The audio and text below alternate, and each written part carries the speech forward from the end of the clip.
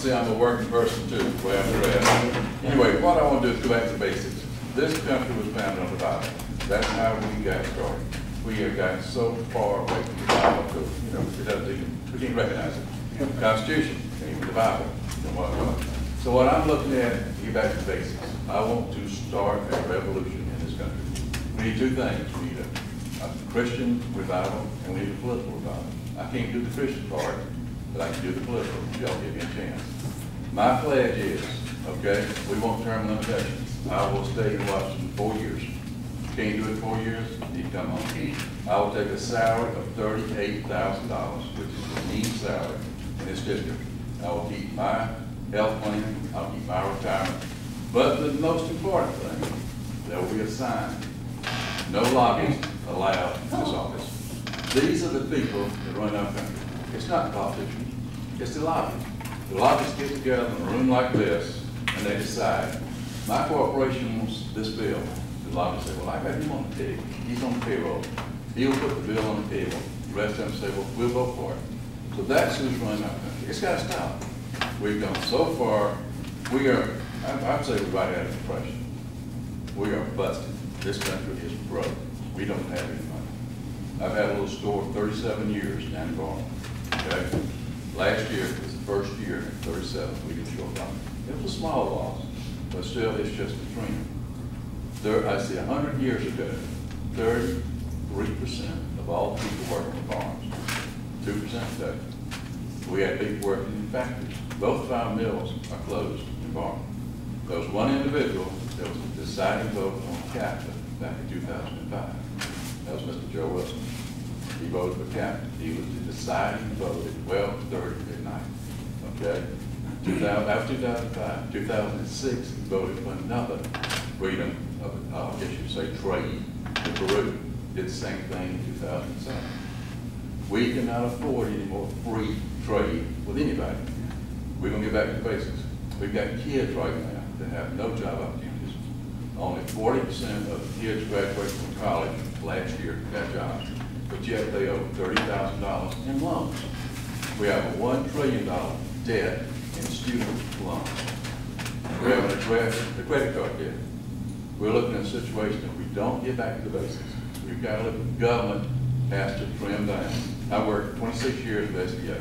I started in a bank. I went to savings and loan. I've had six different businesses. I understand business. The government does not. Anything the government gets involved in, they mess it up.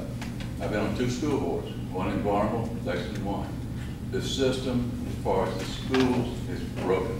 We need to get rid of the Department of Education. That's the first thing, get back to the basics in education. Second, it's not the taxes killing big business, it's EPA, it's regulations. I go through story after story, people that come into the business down in Barnwell, that they can't even get started because of regulations. They're busted before they get started. They spend an additional thirty, forty thousand dollars just meeting requirements, go to the door. So we're looking at this, so that's what I've got to say. We look at June the twelfth, please vote. And now I'd like to have questions. Anybody have any questions? Somebody's got to have some questions.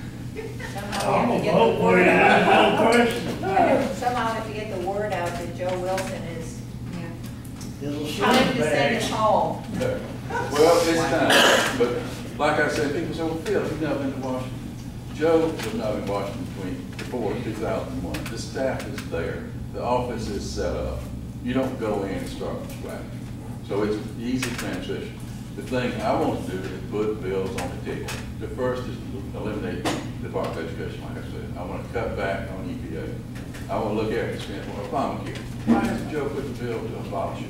We can do away with it. It's not constitutional, but nobody wants to tackle the fact that we got to eliminate it. It's been three and a half years. We haven't had a budget. We don't have a budget for the simple fact we don't have enough money coming in to make a budget. Okay? We're broke. We look at, I'm paying that year. I'm 67 years old. I pay $96. It's going up to 110 then 115 I think by 214 we're going to pay $205 when I'm out of here. Yep. And the average people getting $800 and Social Security can't afford to pay an additional 150 bucks on this next year. We've got to look at it, if we start now, we can get back to basics. We can't wait another two years, another four years. But if y'all give me an opportunity, all I ask for is not your money. I take no contributions.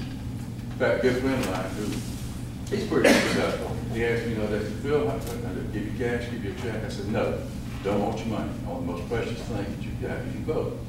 He told a friend of mine, he said, Phil insulted me the other day, he said, he wouldn't take the money. But I can't be bought, I'm an individual, I can prove that, go wherever I've been, everybody says, Phil is what he is, what you see is what you get. Yes, ma'am? How are you going to get the word out to just everyday people? Joe Wilson's got money, he's going to put out advertisements on television, stuff like that. How are you going to get out there and, Okay. The way I have gone, this is the third time I've run. So I've been on the, um, ticket two other times.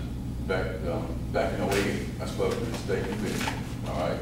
And the thing was, I said, folks, uh, we are in a situation where we're on the wrong road. We've got to change direction. Nobody listened. And that time, of course, we didn't have a state convention. This year, I spoke in District Two, they wouldn't let me speak at the state convention. Nobody spoke it yet. And from that standpoint, but what's gonna get me elected is you people, the groups like this. I'm sending out emails, I'm sending out my, um, uh, uh, on Facebook, but that's what's gonna do it. That do takes do the the place.